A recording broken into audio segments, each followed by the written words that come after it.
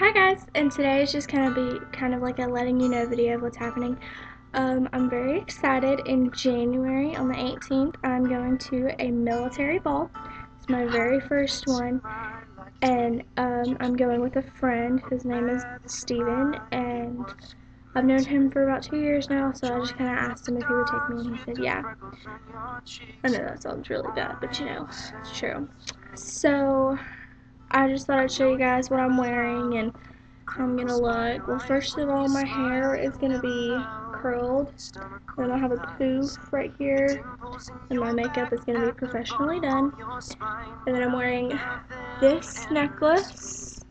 It's ruby and it has diamonds around it. I got it for Christmas. And yes, I know Christmas is two days away, but my grandparents are leaving to visit their others to go visit my uncle, and they wanted us to open all the presents they got, that they got us so they could see our faces and stuff. So my grandparents got me this. So she, this, so my grandma let me open it early. So it's just it has this ruby in the middle and then diamonds around it on a silver chain. And then my bag it just looks like this and it's just black and it has the beading right here and then it has a little string thing, rope thing, whatever. And then my shoes are these black wedges and they just have that kind of like fuzzy stuff on it. I don't know what it, I don't know what you call it. But they're sevens and they're the brand Soda. I don't know if you guys ever heard of that, but I got them at Shoe Carnival, really cheap. So, and they're four inches, it will do me good. And then my dress is my favorite part. I got this at the White Room, and it's just, it's so pretty. Okay, give me a minute. Okay.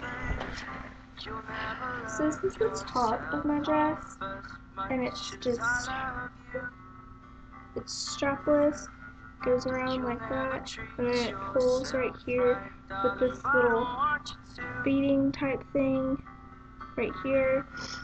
And it's kind of tight in the stomach area. And you can see it has like leaf patterns and designs and stuff on it. And then we go back.